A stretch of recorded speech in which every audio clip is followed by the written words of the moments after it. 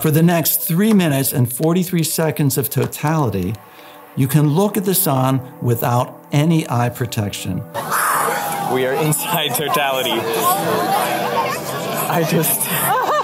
I am kind of speechless. This is the only time the sun's faint outer atmosphere, called the corona, isn't hidden by the sun's much brighter surface.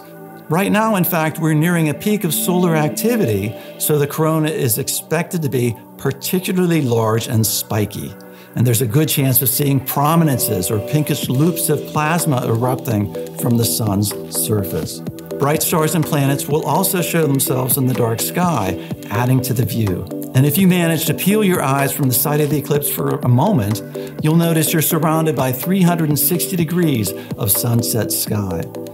For us in Brockport, there will be about 3 minutes and 43 seconds of skies that are dark enough to see the brightest stars.